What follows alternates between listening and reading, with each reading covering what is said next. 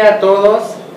El día de hoy, eh, Proyecto Grado Cero eh, tiene en la mesa, nos acompaña un distinguido académico de la Facultad de Derecho de la UNAM. Él es el, el, el maestro Miguel Ángel Vázquez Robles. Él es el actual director del Seminario de Derecho Fiscal en la Facultad de Derecho de la UNAM. También es profesor en la facultad y el día de hoy vamos a platicar sobre los juicios que se promueven ante el Tribunal Federal de Justicia Fiscal y Administrativa. Eh, el día de hoy estamos en la mesa. Hugo Hernández. Miguel Ángel Vázquez Robles. Y David Salinas. Bueno, profesor, adelante, platíquenos sobre el tema en particular. Bueno, antes que todo, eh, debo agradecer la oportunidad que me brindan de participar con ustedes en este proyecto, felicitarlos porque el proyecto Grado Cero, según me platicaba el doctor Ochoa Hoffman, es un proyecto de alumnos, lo cual me parece extraordinario, me agrada. Creo que uno de los grandes valores que tenemos en la universidad es precisamente la juventud y su talento. Así es que yo los deseo felicitar y desearles lo mejor en el proyecto que están iniciando que estoy seguro de que será bien recibido por toda la comunidad. Hoy me invitan a platicar sobre un tema de impartición de justicia en materia fiscal. Tema importante de por sí, porque en realidad todo sistema que se precie de que funciona de manera adecuada implica que exista un pleno respeto a los derechos, que de alguna manera objetivos primordiales sean seguridad jurídica y justicia. Solo así puede lograrse la paz en nuestro país. En este caso, hablamos de una impartición de justicia y tengo que hacer algo de referencia histórica, porque existe un tribunal que históricamente se creó solo para defender a los contribuyentes de los actos arbitrarios de la autoridad fiscal. Y lo refiero al entonces llamado Tribunal Fiscal de la Federación, que en el año de 1936, siendo presidente el general Lázaro Cárdenas, que ha sido uno de los mejores presidentes que hemos tenido en México, que creó muchas instituciones, pero entre ellas este tribunal, mediante la aprobación de una ley denominada la Ley de Justicia Cuyos fines primordiales eran precisamente la seguridad jurídica de todos los gobernados, que los impuestos se pagaran de manera adecuada y no permitir que la autoridad fiscal llevara a cabo actos arbitrarios. Con estos conceptos se creó el tribunal un tribunal con características muy especiales y voy a referirlas brevemente, pero en primer lugar era un tribunal que para su entonces no dependía ni del poder ejecutivo, ni del legislativo, ni del judicial. Esto se cuestionó mucho porque decían a qué poder corresponde, o es un cuarto poder, o es inconstitucional. Fue una serie de controversias que sobre la marcha se fueron resolviendo, hubo reformas constitucionales y se acabó con esa problemática. Pero se pensó en un juicio maravilloso, desde luego un juicio que era sencillo, fácil, accesible, donde el principal garante de los derechos del contribuyente era el propio tribunal. Requisitos mínimos para la defensa y sobre todo facilidad, juicios rápidos, con toda la posibilidad de ofrecimiento de pruebas y con características de que las resoluciones dictadas por ese tribunal eran resoluciones definitivas para la autoridad.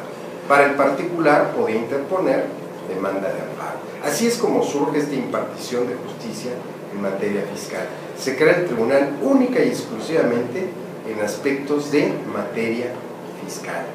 Después de una revolución donde había desde luego desorden, en las instituciones, inclusive en materia de impuestos, y se trató de ordenar todo lo existente y crear situaciones Es en principio cómo se crea el tribunal. Posteriormente, dada su capacidad y su trabajo y su gran prestigio, al tribunal se le fueron adicionando o otorgándosele nuevas competencias sobre materias que ya no eran netamente fiscales. Esto desde luego provocó que los juicios se fueran incrementando año con año. Situación que llegó a ser un poquito conflictiva a partir del año de 1995, cuando se aprobó la Ley Federal de Derechos, eh, Ley Federal de Procedimiento Administrativo, en la cual se establecía un recurso que por reformas a la ley orgánica del Tribunal Fiscal en aquel entonces, se le otorgó al tribunal competencia para conocer de la resolución de estos recursos en materia administrativa. De ahí fue que, a partir de esa fecha, 1996, la competencia del tribunal se incrementó notablemente. Y digo notablemente porque conocía o conoce casi de todas las materias administrativas. Esto inclusive provocó una serie de criterios y jurisprudencias, entre otras, de la Suprema Corte de Justicia de la Nación que así lo determinaba, por lo que a partir del año de 2000, la denominación de Tribunal Fiscal de la Federación surgió un cambio y ahora se denomina Tribunal Federal de Justicia Fiscal y Administrativa, el cual conoce no solo de materia fiscal, sino de toda la materia administrativa. En virtud de esto, los asuntos se incrementaron. Lamentablemente no así las salas que integraban el tribunal o el personal. No fue un crecimiento acorde con los asuntos que se plantearon. Esto desde luego ha generado la problemática de rezago en la impartición de justicia y tardanza. Esto se pensó que la forma de solucionarlo era desde luego, pues pudiera ser en primer lugar la creación de nuevas salas, lo cual por cuestión eh, presupuestal no era posible. La segunda, un nuevo sistema de impartición de justicia. Y la tercera, la creación de salas especializadas.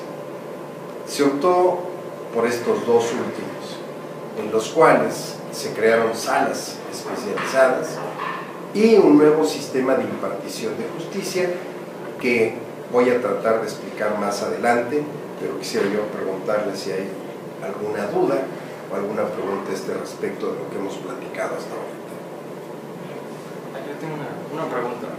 En 1929 el magistrado, me parece, Arturo Cisneros Cantó, establece que el juicio de oposición se debe hacer solamente, no, sí, el juicio de oposición solamente se hará cuando ya no haya, no sé, que el amparo solo va a, entrar si el juicio de oposición ya se, se agotó por se ha agotado y hay todos los recursos. ¿Qué le parece? ¿Así le parece novedoso para el juicio o cree que se debería hacer primero el amparo ya directamente? Bueno, esto fue de los antecedentes de la creación del Tribunal Fiscal de la Federación, precisamente derogando aquel sistema de oposición, el cual tenía fallas y dudas. Yo creo que el sistema que se creó a partir de 1936 ha sido quizá diría yo perfecto, porque en realidad de lo que se trataba era de defender a los contribuyentes, no de ponerles trabas.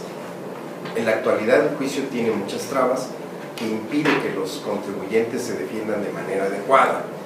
Eh, la definitividad de los actos que he comentado yo eh, respecto, perdón, de las resoluciones del tribunal era sumamente importante porque los juicios, y en aquel entonces lo voy a referir, los juicios eran muy rápidos 15 días para la demanda, 15 para la contestación, una celebración de una audiencia y 10 días para dictar sentencia.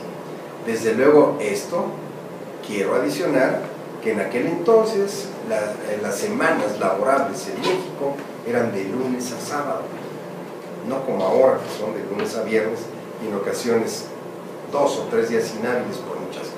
Es decir, era muy ágil. Entonces teníamos resoluciones en menos de un mes lo cual era muy bueno. ¿Y por qué era bueno? Porque la persona que impugnaba un acto, fuera persona física o persona moral, y tenía una controversia de carácter fiscal, ante esta situación y al defenderse y poder obtener una resolución favorable, el problema se reducía. En la actualidad uno de los problemas es que los juicios son muy tardados y las garantías llegan a ahogar a las empresas y ya no les impiden un crecimiento. Yo creo que inicialmente el juicio fue maravilloso, funcionó muy bien y desde luego tuvo buenos resultados. Y digo buenos resultados porque en aquel entonces también se hablaba de que el tribunal era un tribunal de anulación. Es decir, una resolución impugnada ahora nula, nula o era válida. Ahora el sistema ha cambiado y si nos da tiempo trataré de explicarlo posteriormente.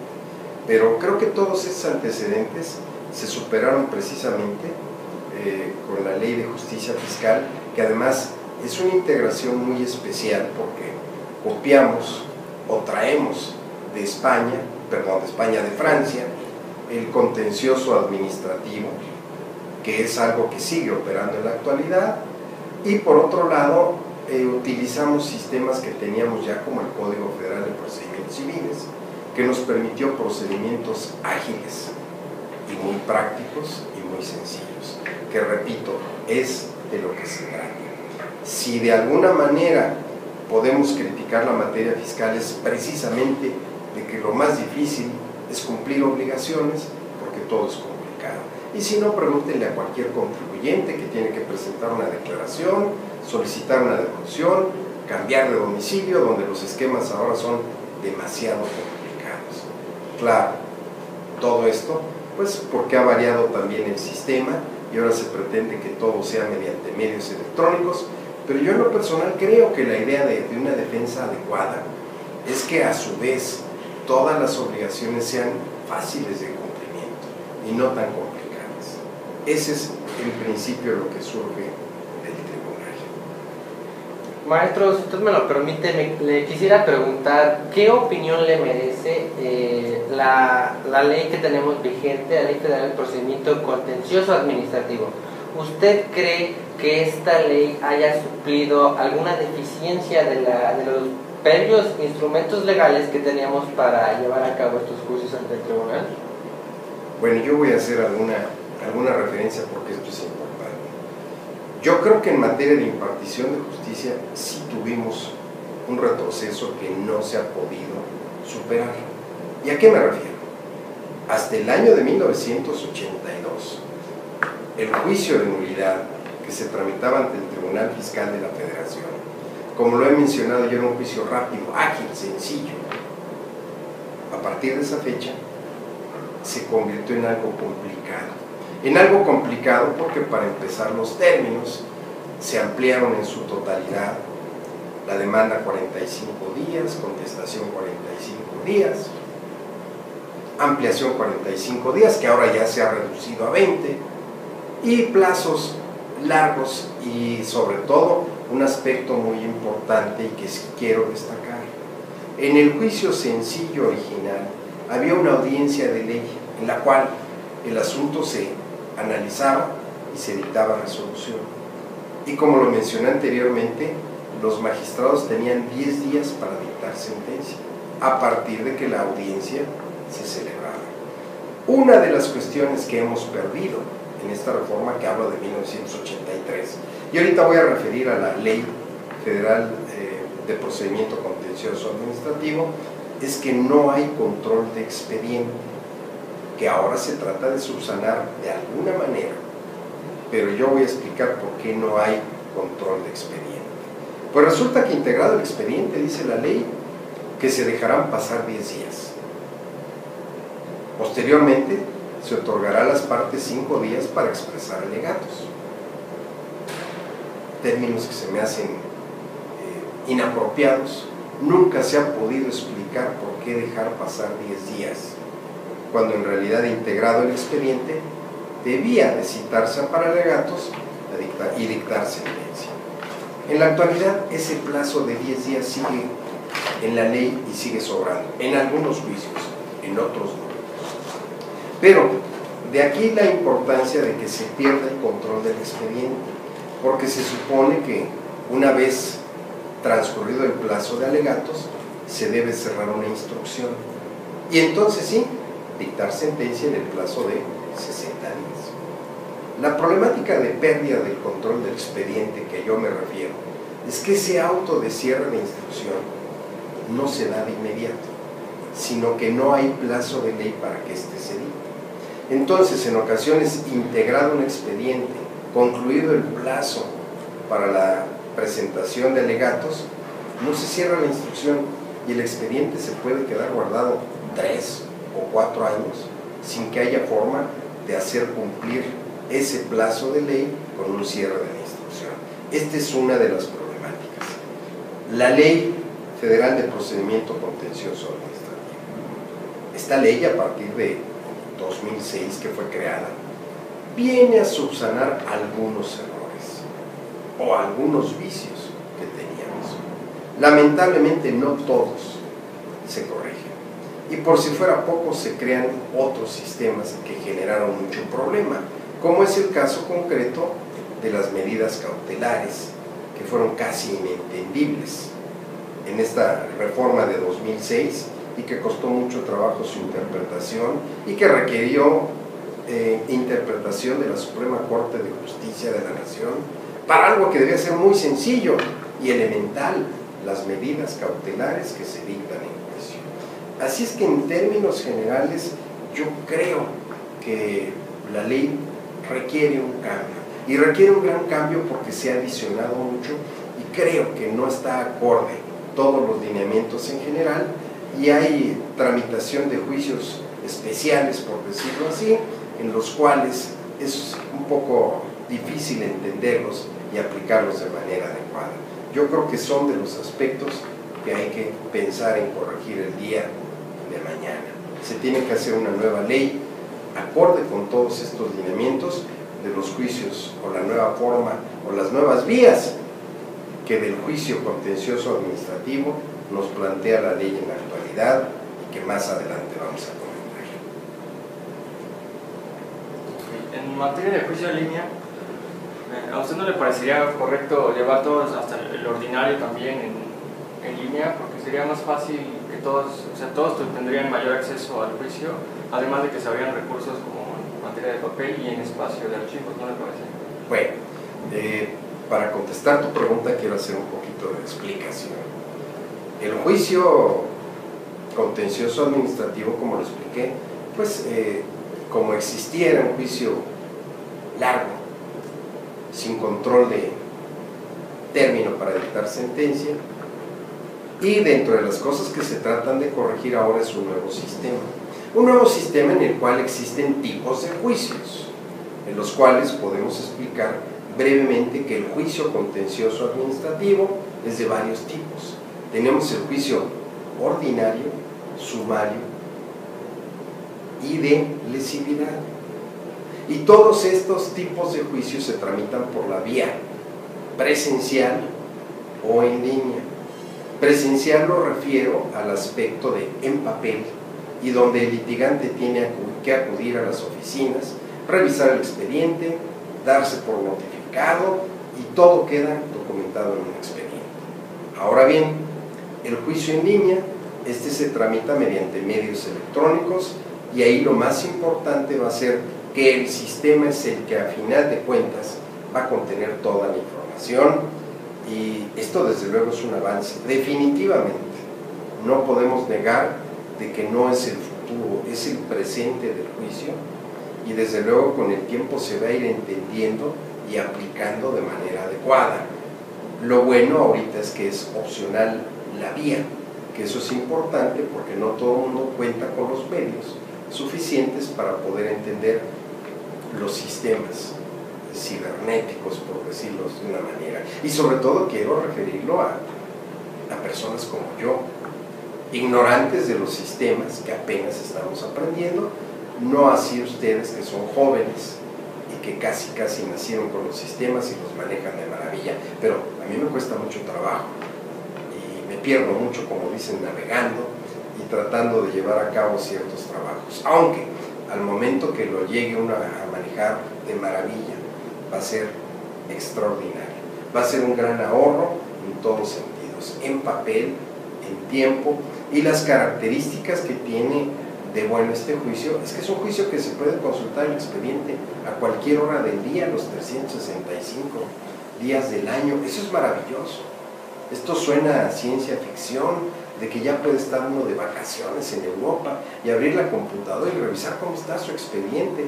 Esto definitivamente es novedoso y extraordinario.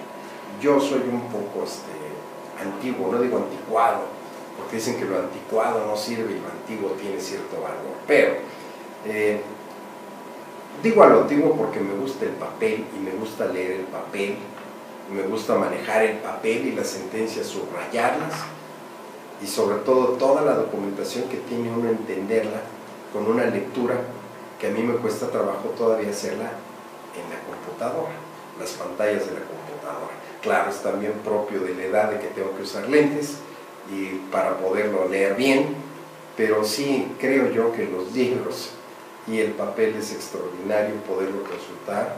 Además, para eso son, para rayarlos, subrayarlos, eh, tacharlos, este, resaltarlos y poder entender en ocasiones algún concepto que se maneja. Entonces, sí es un buen aspecto el juicio en línea, extraordinario, lo felicito, ha costado mucho dinero, sí, más va a costar, pero además el Tribunal Federal de Justicia Fiscal y Administrativa es pionero en este juicio. Claro, si vemos las críticas diríamos, bueno, y al final de cuentas, al concluir el juicio se tiene que imprimir en papel para que vaya una revisión al Poder Judicial. Bueno, con el tiempo yo creo que también la revisión en materia juicio contencioso administrativo y el amparo se puedan manejar también en línea, lo cual sería maravilloso. Muy bien, eh, muy bien, licenciado. Eh, aquí en el público nos hacen una pregunta importante, nos dice Mariana Ochoa. Eh, ¿No cree que en el juicio en línea no se pueda llevar una defensa correcta al ser poca la información que puede manejarse en este tipo de juicio? Bueno, Mariana, no. En realidad, eh, el manejar el juicio en línea no implica limitación al conocimiento de todos los elementos que integran la litis y la prueba. Esto es quizá alguna de las problemáticas que sí se presenten al revisar el expediente, pero se supone que debe digitalizarse, creo que es la palabra correcta, este, toda la, la información, la contestación de la autoridad. Entonces el litigante tiene derecho a revisar lo que quiera en el momento que sea. En ocasiones hay juicios que sí se hacen muy, muy densos y muy pesados, porque se hace una demanda de 40, 50 hojas, una contestación igual, se mandan pruebas que también exceden y si su revisión, como bien lo dije yo, el papel como que hasta marca uno dónde va y puede uno descansar, tomar un café y regresar. Y la computadora a veces si no la activa uno se borra y hay que volver a iniciar el procedimiento para, para aprenderla. No hay limitación de ningún tipo. Quizá, quizá, yo he pensado que, que sí hay pruebas que son complicadas y voy a referirlo concretamente. Normalmente una de las pruebas primordiales es el acta de notificación del acto impugnado. Esta acta de notificación tienen que elaborarlas actuarios que acuden al domicilio del contribuyente. Normalmente estas personas lamentablemente tienen una letra no fea, espantosa, inentendible. Y normalmente ellos utilizan todavía el sistema de papel calca. Entonces hay documentos que, no se entienden casi en su integridad y me cuesta mi trabajo como todavía ese documento que físicamente no lo podemos leer bien, lo tengamos que subir o escanear y cómo va a pasar al final de cuentas y cómo se va a poder llevar a cabo este análisis del documento. Claro, existe siempre la posibilidad de que nos exijan la exhibición del original pero sí todas las pruebas se podrán analizar, todas en su integridad. Si no, el juicio sería inconstitucional y de eso sí se cuidaron mucho de que todos estos procedimientos sean respetados y que se permita el acceso libre, desde luego, al litigante, al contribuyente que está litigando y a los autorizados. Desde luego, cada vez que el litigante accese al expediente, este puede tener efectos de surtimiento de notificación y hay que tener cuidado en ese sentido. Es correcto lo que apunta el, maestro Vázquez Robles. Eh, realmente este sistema de impartición de justicia en línea pues resulta novedoso y, es ciertamente que con él pues se pretenden este, cubrir este, algunas deficiencias que se manejaban en los juicios de manera extraordinaria, en papel que se llevan. Y, bueno, ahora yo le quisiera preguntar, maestro, eh, sobre los juicios sumarios. Estos juicios que realmente sí nos cortan este, los términos, son términos mucho más cortos. Y, bueno, por ejemplo, yo le preguntaría respecto a la fecha de instrucción, porque generalmente en, un juicio sumario, eh, la sala que está llevando la, este, el litigio en, en turno, eh, gira una, una, fecha de cierre de instrucción y en ocasiones vemos como los juicios se van acumulando, ya sea por el exceso de trabajo que tienen en las salas, pero pues generalmente ya este, pues viene esa etapa, esa, esa fecha de cierre de instrucción y pues bueno, el juicio aún sigue caminando. ¿Qué nos puede decir al respecto, eso Bueno, desde luego, refiero brevemente. Estamos hablando de que el juicio ordinario es aquel que se tramita de una manera con plazos más largos, por la crítica que hago yo de la pérdida del control del expediente. La vía desde luego es presencial con papel o en línea. Ahora bien, se pensó también que una forma de solución era el juicio sumario.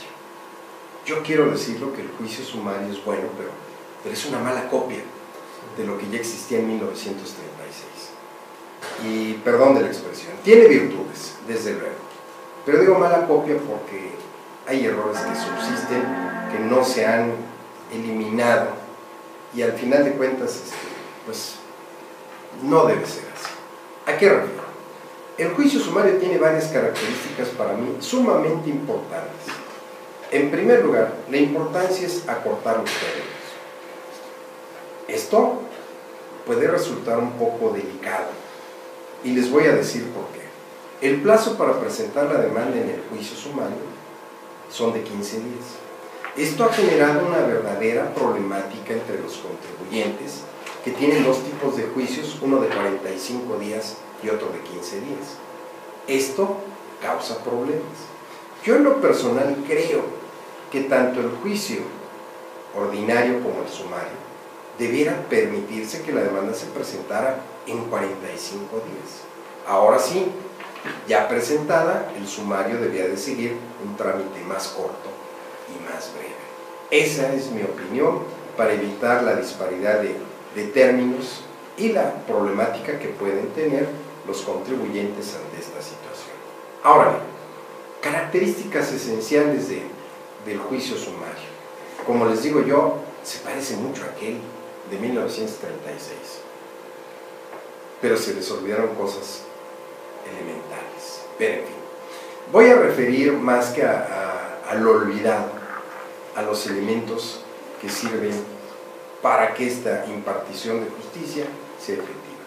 En primer lugar, el hecho de que los plazos sean breves es una tranquilidad, pero el problema, como repito yo, es el control del expediente. Y aquí en el juicio sumario tiene la gran característica de que admitida la demanda, se señalará una fecha aproximada de cierre de instrucción. Esto implica que el expediente debe quedar integrado. No hay posibilidad de que la sala no lo integre. Si por algo no pudiera integrarlo, podrá diferir un poco el cierre de la. Pero yo creo que esta es la característica esencial. Una fecha determinada para el cierre de la instrucción y en consecuencia inicio del cómputo del plazo para dictar sentencia. Preguntaba David, ¿qué pasa si no se dicta la sentencia en ese plazo? Pues existe un procedimiento específico que se llama excitativa de justicia y el cual se promueve contra el magistrado que no ha dictado la sentencia dentro del plazo de ley. Pero esto solamente puede promoverse siempre y cuando existe un cierre de la instrucción. Entonces yo creo que esta es una característica buena. Eh, otra característica buena es que también lamentablemente no está bien definido, pero el juicio sumario en la exposición de motivos no dice nada absolutamente, ni en la ley, de que sea un juicio definitivo. Sin embargo, el recurso de revisión que existe en la Ley Federal de Procedimiento Contencioso Administrativo no contempla el juicio sumario y la sentencia que se dicte en él como forma de impugnación. Esto va a generar alguna problemática, porque algunos colegiados van a determinar que sí es procedente, otros que no, y al final de cuentas tendrá que llevar la controversia hasta la Suprema Corte de Justicia de la Nación, y esto es lo que no debe de ser. En realidad este juicio sumario debe haber sido un juicio terminal, que ya la autoridad no lo pudiera recorrer más que en particular. Ahora, características también adicionales buenas, pues es que este juicio, a diferencia del juicio ordinario, se tramita solo por un magistrado instructor. Esto desde luego aligera la carga y voy a tratar de dar un ejemplo para que vean ustedes cómo de alguna manera sí se puede trabajar un poco mejor. Claro, yo insisto que debe de crearse más salas y contratar más personas. Pero imagínense ustedes una sala integrada por tres magistrados, que cada magistrado tiene que dictar 150 sentencias al mes. Eso implica que no solo las dicte, sino que tenga que revisar las 150 de cada uno de sus compañeros de sala. Es decir, ese magistrado tendrá que revisar 450 sentencias al mes.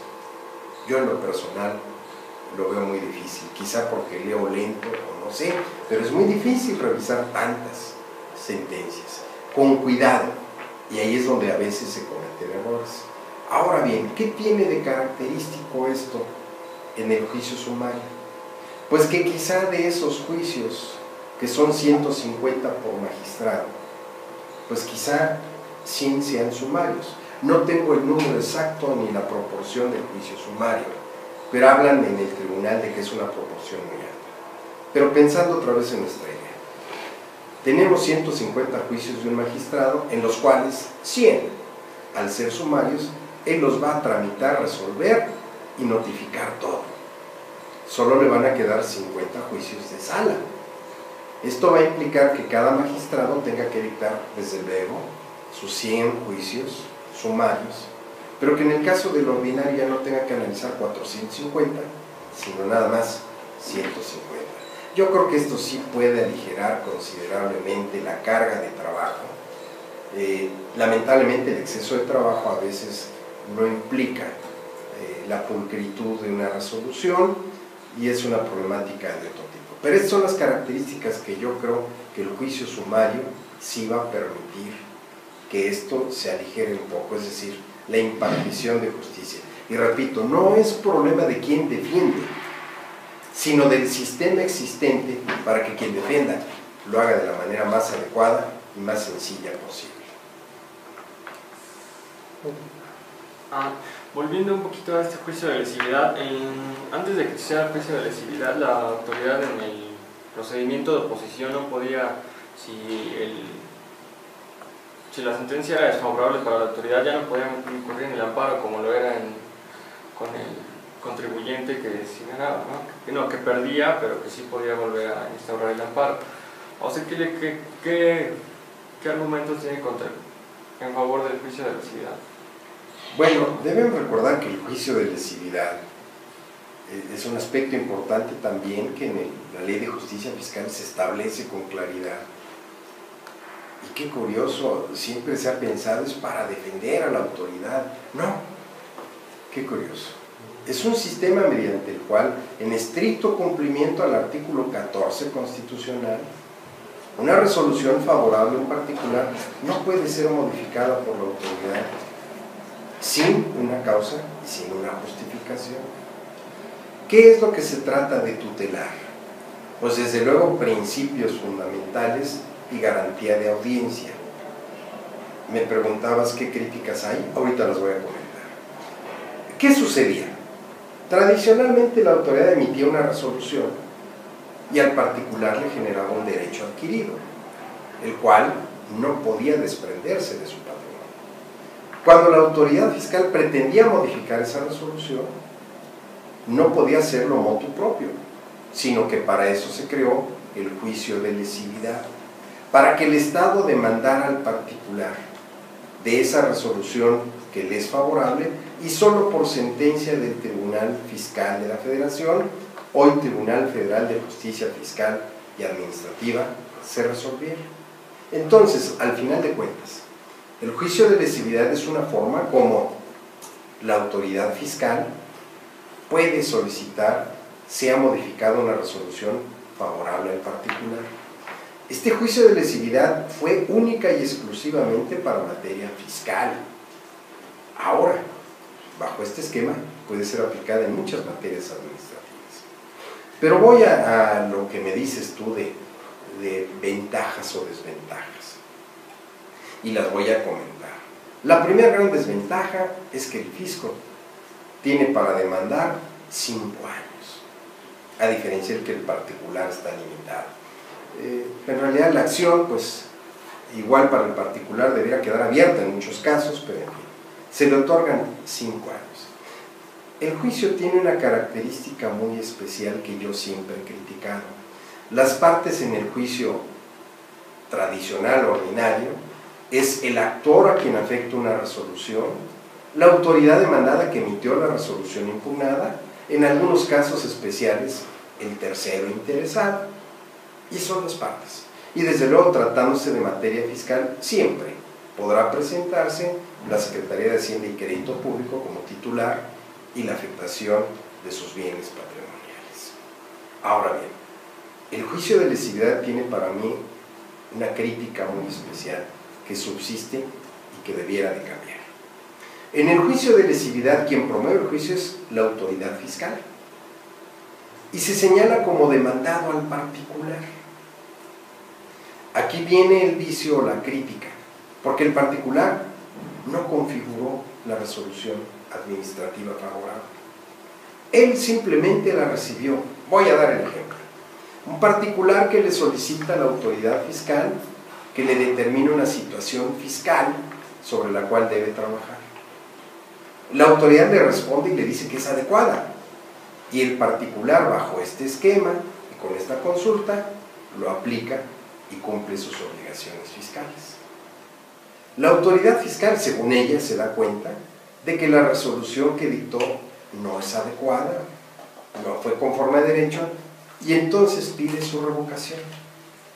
Su revocación que solo puede ser otorgada por sentencia del Tribunal Federal de Justicia Fiscal y Administrativa. Desde luego, para mí aquí las partes en el juicio debieran ser distintas. El actor debía ser la autoridad fiscal que pretende que se revoque esa resolución favorable. Pero el demandado para mí no debía ser el particular. Debiera ser la autoridad que emitió el acto, porque quien emitió el acto de manera irregular fue la autoridad, no el particular. Y en todo caso el particular acudir como tercero interesado. Y dirán ustedes, ¿y cuál sería el sentido de cambiar estas partes? Pues, en primer lugar, si fue el servidor público el que dictó la resolución de manera inadecuada, él debe responder de manera personal. Y el particular tendrá la consecuencia, pero no en la medida en que todo lo que haya realizado esté mal. De esta manera yo creo que el juicio de lesividad sería correcto, porque simplemente un servidor público emite una resolución, la hace mal, se va, y al que demandan es al particular y el particular de buena fe hizo el planteamiento, presentó su promoción y tiene una resolución favorable. Esta es una de las cosas que sí deben de cambiarse en nuestro sistema y yo digo que en el juicio de lesividad, porque definitivamente no creo que sea la idea afectar directamente al gobernado que de manera pacífica, respetuosa, de buena fe, solicita o formula una petición, la autoridad le determina, le ordena cómo hacerlo y posteriormente se arrepiente de tal situación. Esto lo digo en términos generales, aunque hay pocos juicios de lesividad que se han promovido. Hay uno muy famoso que llegó hasta la Suprema Corte de Justicia de la Nación y que lo ganó la Secretaría de Hacienda y Crédito Público.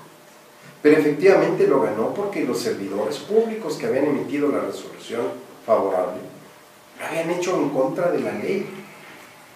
Y a estos servidores públicos nunca se les citó a juicio. no sé cuál ha sido su destino, pero debieron haber sido citados a juicio para que expusieran por qué esa resolución que emitieron la emitieron en esos términos sin pensar que el contribuyente fue el que la dictó. Esa es una de las críticas al juicio de vecino. Muy bien, maestro. Eh, bueno, usted tocaba un tema muy importante que era la creación de las salas, estas salas especializadas que se crean eh, en aras de pues, cubrir esa carga excesiva de trabajo que tienen las salas regionales metropolitanas. Y, bueno, eh, yo le preguntaría eh, cuál ha sido la, la, eficacia y las ventajas que nos han generado estas, porque bueno, ahora los asuntos que se ventilan en estas salas especializadas ya este, pues entran dentro de un filtro y pues sus resoluciones en sentido estricto pues deberían de ser este, pues mucho más ad hoc que, y resolverían conforme a derecho en estricto sentido que una sala regional que lleva eh, pues asuntos de diversa índole. ¿Usted qué opina al respecto, maestro? Bueno, desde luego yo creo que las salas especializadas se requieren y ahorita hay tres, pero se requieren más. Y ahorita voy a explicar por qué. Acuérdense ustedes lo que comentamos de que el juicio surge como un juicio fiscal netamente, donde solo se manejaban leyes fiscales. Con el tiempo se ha ido ampliando la competencia. Si bien los magistrados es gente preparada y estudiosa, yo creo que sí debiera de especializarse de alguna manera ciertos asuntos. Habría que sacar un cálculo de cuántos asuntos se maneja de cada materia para poderlo entender. Pero yo sí creo que es necesario las salas especializadas en ciertas materias. Voy a referir concretamente a la sala del juicio en línea. La sala del juicio en línea fue una necesidad de creación y les voy a explicar por qué. Se aprobó la existencia de un juicio en línea. Esto fue con una buena intención. Se empezó a trabajar primero en la legislación, posteriormente en el sistema que iba a controlar este juicio en línea. Esto no fue nada fácil. Fue necesario licitarlo y ver qué propuestas existían, porque la parte fundamental del juicio en línea es el sistema, el sistema que contiene el archivo permanente inalterable y consultable en cualquier momento. En principio se pensó que todas las salas del tribunal debían manejar el juicio en línea, todas. Esto iba a ser a partir del año pasado, el día 8 de agosto, si no mal recuerdo. Y la problemática que se presentó fue muy especial. ¿Y por qué muy especial? Porque en primer lugar, habría que pensar que todos los equipos con los que se contaban en materia de computadoras y de sistemas, pues no todos eran los más adecuados. Todavía existen sistemas que propiamente se manejan como máquinas de escribir. Entonces lo primero que había que hacer era adecuar el equipo. Y segundo, una característica muy especial que yo creo que la mayoría de gente que integra el tribunal son adultos, que la computadora la han venido a aprender con el tiempo y no es fácil. Entonces la problemática que se presentaba es que era difícil que todas las salas pudieran manejar el juicio sin mayor problemática. Por eso es que se decidió crear una sola sala para juicio en línea, que además no lleva tantos juicios y que sí puede atender, y en la cual se eligió a tres magistrados que conocían el sistema y manejaban el sistema de manera adecuada. Yo creo que las salas especializadas son buenas y así deben de operar. A mí la sala de juicio en línea no me gusta porque además no puede uno ir a ver al expediente, platicar con el magistrado, sino que todo tendrá que ser mediante los sistemas electrónicos, que, que repito, son novedosos, pero que nos cuesta mucho trabajo a algunas personas entenderlo. Maestro, tenemos diversos cuestionamientos aquí con los compañeros. Eh, nos pregunta Fausto que cuál sería la propuesta o alternativa para lograr la, especialización que nos acaba de comentar. Caray, es una pregunta muy comprometedora. Bueno, yo creo que, que hay que especializar definitivamente por materia fiscal, desde luego. Las otras materias que tenemos, y yo no sé qué tantos asuntos se lleven de otras materias. Esto tendría que hacerse una evaluación de cuántos asuntos se llevan, de qué materias y si se requeriría algunas salas especializadas o no. Tal parece que ahora la materia fiscal, que era lo mayor que se manejaba, ahora es lo menos. Habría que ver, habría que ver qué se maneja de seguro social, Infonavit, otras materias, y sobre todo quiero decirles que, pues no quiero mentir, pero hay más de 150 leyes administrativas que todas pueden ser competencia del tribunal y que en un momento dado se puede presentar la problemática. Una de las salas creadas ex profeso fue la sala especializada para propiedad intelectual, que de alguna manera se dio la necesidad de una nueva materia que requería especialidad no solo de los magistrados y de los secretarios, sino de los sistemas. Esta sala está operando bien y su capacidad creo que ya se está rebasando. Entonces, sí, eh, me parece bien las salas especializadas. Lo que no me gusta son las salas auxiliares. Las salas auxiliares que se han creado según esto para desahogar el trabajo. Y les voy a decir cómo operan. Estas salas auxiliares, hay cuatro creo, dos en Puebla, no recuerdo las otras. Pero lo único que hacen es dictar sentencia. Entonces las salas que tienen rezagos cogen algunos expedientes y se los mandan a otra para que simple y sencillamente dicte sentencia. Yo creo que es difícil dictar solo sentencias sin haber visto cómo se integró un expediente. No es lo complicado esto, sino que también se complica la situación de que si una empresa está en el Distrito Federal, promueve una demanda, el juicio se va a resolver aquí y de repente me informan que va a ser resuelto por una sala auxiliar en Puebla, y entonces tiene que acudir a Puebla a tratar de defender sus intereses, que creo que yo es un retroceso eso en la impartición de justicia, donde el particular puede estar al pendiente y al día de todos los actos que se lleven a cabo. Muy bien, eh, bueno, aquí este, también hay otros comentarios en los cuales eh, manifiestan que están de acuerdo con ello. Nos dice Alejandra, exacto, la especialización es necesaria para llevar a cabo un mejor ejercicio del sistema y también nos plantea, eh, bueno, nos dice aquí Mariana Ochoa, eh, nos dice que qué tontería, ¿no? Coincido con el licenciado, porque se gasta en salas auxiliares que solo eh, ven sentencias y, no se, y se buscan más salas especializadas. Es, lo que, es lo que requiere la, la nueva manera de impartición de justicia. Eh, nos hacen otra pregunta que vale la pena que nos comentara usted, maestro. Nos dice Alejandra, ¿cuáles podrían ser entonces las medidas que deben tomarse para mejorar las funciones de las salas auxiliares. Bueno, voy a concluir con algo de que si estuviera en el tribunal quizá me correrían, pero afortunadamente soy un universitario libre que puedo expresar opiniones. Yo desaparecería esas salas auxiliares y en su lugar crearía más salas donde son necesarias. Definitivamente esto tiene que ser así.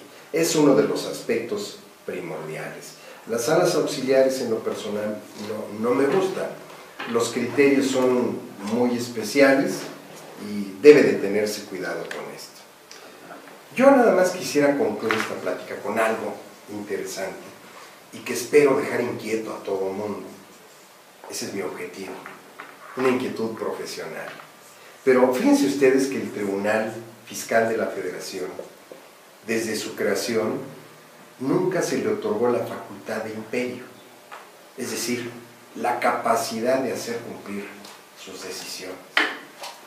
Esta problemática subsiste a la fecha y ahora se ha subsanado pues relativamente con la existencia de una queja. Una queja que se tramita cuando la autoridad fiscal, uno, no cumple la sentencia, dos, la cumple fuera del plazo de ley, Tres, la cumple de manera excesiva, defectuosa. O cuatro, repite el acto. Sin embargo, esta queja tiene como objeto que si la autoridad fiscal está incurriendo en violación, el nuevo acto se anule.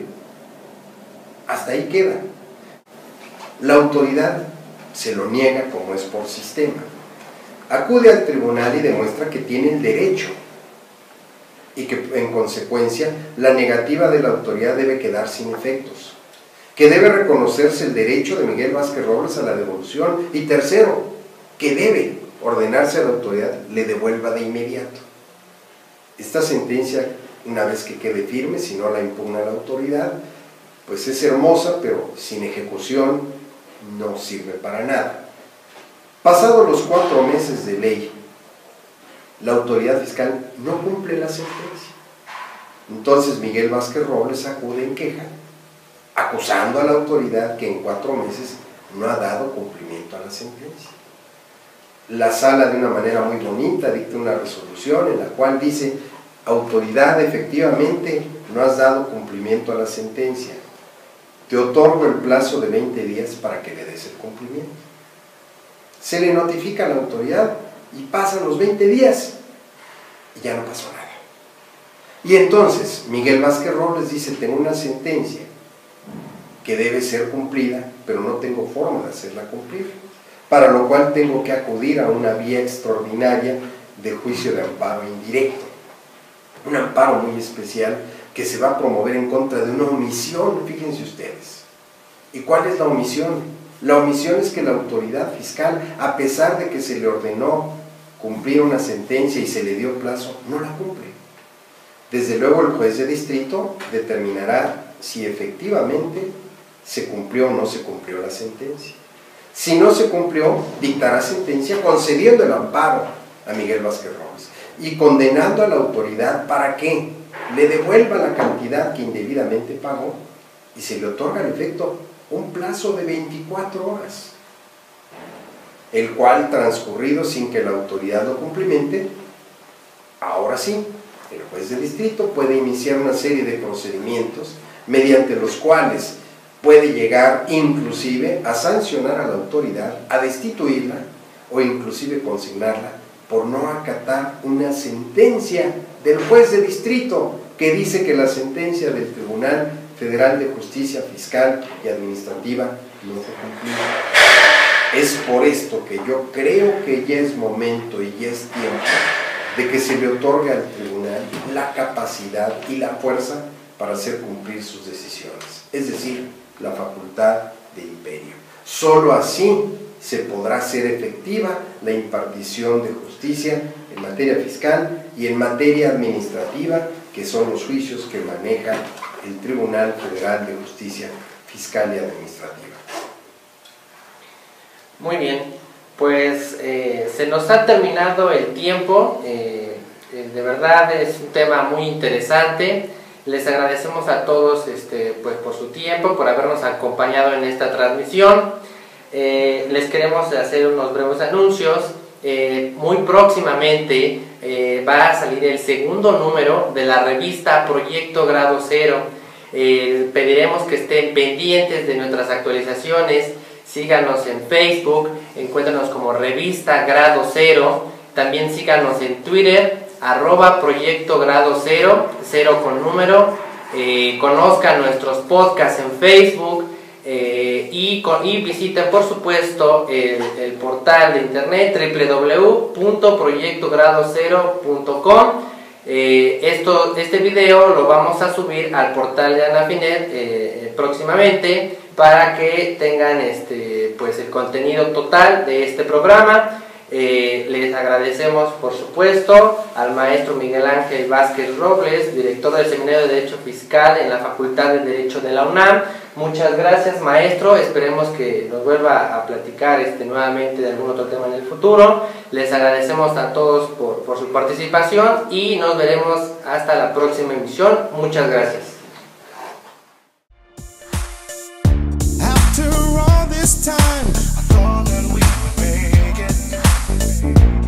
Maybe I am ease your insecurity.